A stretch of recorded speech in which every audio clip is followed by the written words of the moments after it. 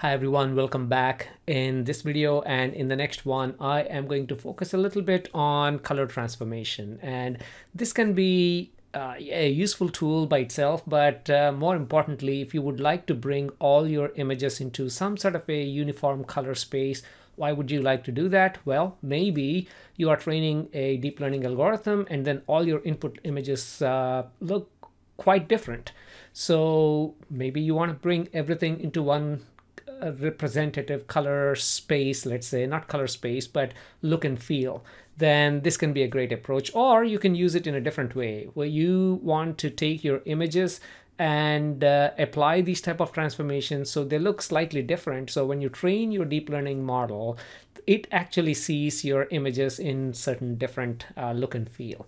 In a way, I'm talking about generalizing your deep learning model because your images uh, capture the diversity that your future images may contain.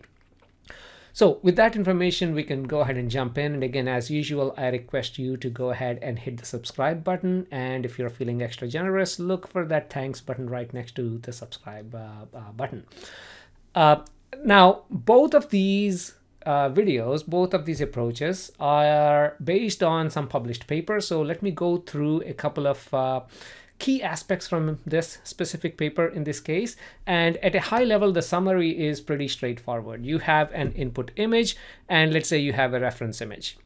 And you would like to take the look and feel of this reference image and apply that to your input image. So if you do that with this natural image that you see on the left hand side, you would end up with an image that looks like this. It looks very nice, artistic. But in real life scenarios, if you look at these pathology, histology images, again, it can be any, it can be satellite images, it can be some other type of images. Wherever you have variability and you know you want them to bring, uh, you want to bring them to one space, this can be a great approach. And in, I'm using pathology example because this is a big pain for the for uh, processing these images.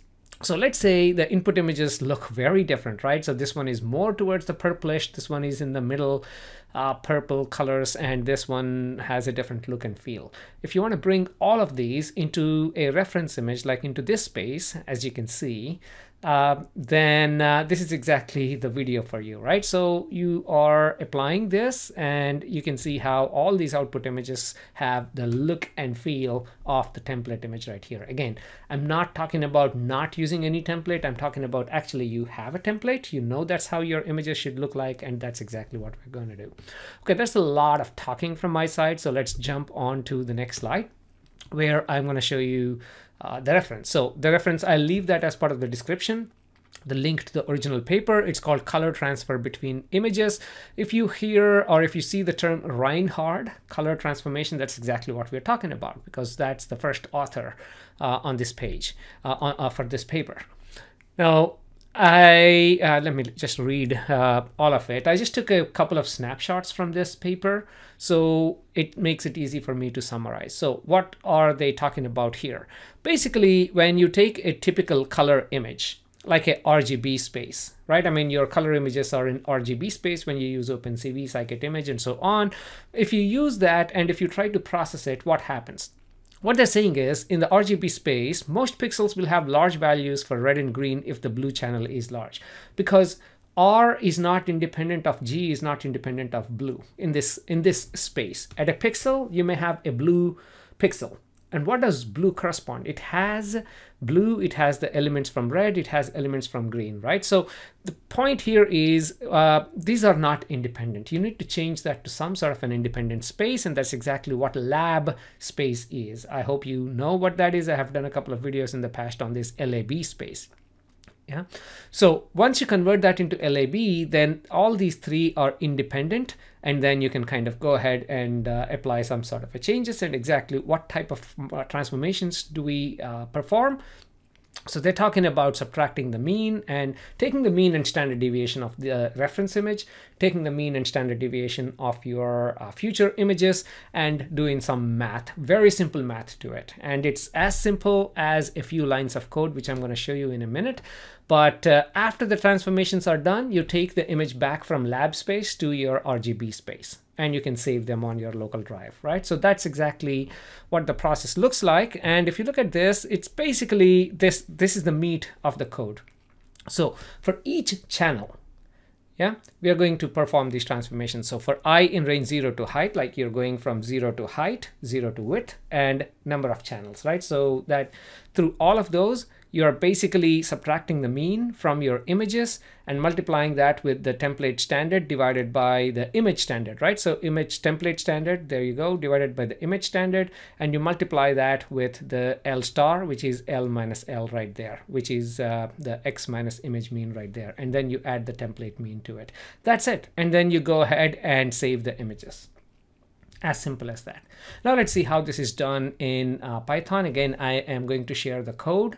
So please focus on what is going on on the screen. Pretty quick uh, vi uh, video, I should say. Okay, and uh, here is the code, as I, as I promised, very few lines of code, right? So, and this is the part that I showed you earlier as part of the presentation. Now, let me demonstrate this on a couple of uh, two different sets of images. One, let's just take natural images. I mean, I have, uh, let me increase this to extra large. I have some of these natural images right there, and I am going to define a template image, which is uh, this deep red sunset image, and I want to apply this style to the these images just to make sure how, uh, I mean, this is an easy way for us to understand exactly what's going on. And then we switch to the pathology input uh, to see how it works there. Okay, so I have a whole bunch of input images, uh, well, four images that I downloaded from Google, and I just placed it in my input images folder. That's what's going on. I'm going to use OpenCV to read these images and uh, for each of these images and again I defined a function for get the getting the mean and standard deviation for each of these images. And I'm going to call this function later on as part of my when I'm walking through each image. And once I have the image mean image standard deviation template mean template standard deviation it's the simple math that we just uh, looked at uh, a minute ago so you take your image you take your x uh, right there uh, minus uh, my image mean. Again we just looked at this formula so no point in uh, uh, going through that again but let's go ahead and look at the result in uh, for, for these images. So my input images and I'm saving my output under output right there and I am going to oh, let's comment this out. Let's use the sunset template image as our template image and let's run this I mean, uh, you'll find that the code is a bit slow because obviously I wasn't thinking about any optimization or anything. In the next video, let's actually look at some published code by others and uh, it's much faster uh, and it does a few other things in addition to just doing this uh, normalization, but it doesn't matter. This code works. Uh, we are implementing exactly what's in the paper right here. Okay, so all of this is done. So let us go to our input images and uh, let's also open our uh, output images and let's compare these two. So there you go. So view extra large, so you can clearly see our sunset, uh, which is like towards the red image that gets applied to all of our input images. So basically our input images, they all have pretty much the same look and feel. Okay, that's fine. So now that you understand what is going on, let us switch our input to our pathology images. And again, these are the images that I have. Uh, they look different, right? I mean, this one looks different from that. And this one is uh, bright pinkish shade. This one also has that pinkish, but this one is more towards the purplish. And these two probably look alike, but it doesn't matter. Let's bring all of those into the same space. And for that, I am going to use uh, template as instead of just using one, why not just use a couple of template images? Uh, well, you can if you want, by the way, but uh, I just put these two just to make sure how these images. First, let's use one.png as template. It's fun exercise, so why not? Uh, let us, uh, again, like I said, I did not write the code in a very nice, elegant way, but it makes the point. Uh, it is usable. Uh, don't get me wrong. It is usable. I can do better when it comes to optimizing this code instead of changing stuff every time. Uh, okay, so let's do pathology input and let's do one.png first. Yeah, so one.png is, uh, again, let's uh, extra this look. This is a different look, right? So let's go ahead and use that look for now. And let's run these one more time.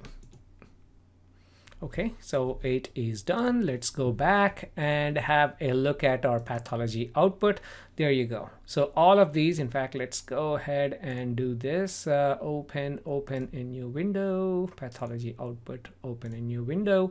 So you can clearly see how our input and output images are. So these are original and this is this is uh, in a different color space. So you can see how they are all in a similar thing. Let's end this video by actually making them look better. I hate this color space, uh, I mean, or that look. Let's actually use this image, 3.png, which is, uh, I guess, the most common way. Uh, let's see, 3.png. Okay, one final time. Okay, let us open these again. I shouldn't have closed the input. That's okay let's put our input right there. Pathology output. Open a new window. Let's put this right here. Now I like what I see on the screen. There you go. You see that? You see this? And if you are curious uh, let me open this one image. And let's open this image right here. And you can see how these two images compare. Right there Okay, so I hope you found this tutorial to be useful and stay tuned for the next one where we are following very similar process from a different paper where they took uh, this approach, exactly this approach, and they also combined it with this color augmentation that you find in PyTorch or TensorFlow, it doesn't matter and they combine these two such a way that the this space is constrained. I mean, if you just do some color augmentation by 20%, 30% with saturation and hue, then it can be anywhere, right? The images may look bluish, but you will never have like a bluish tint pathology images. So how to constrain your space uh, you know this color space. So you still get like the data augmented but within the limits that you actually define. So that is uh, the goal for the next video. So again please do not uh, forget to hit the subscribe button. Let's meet again in the next tutorial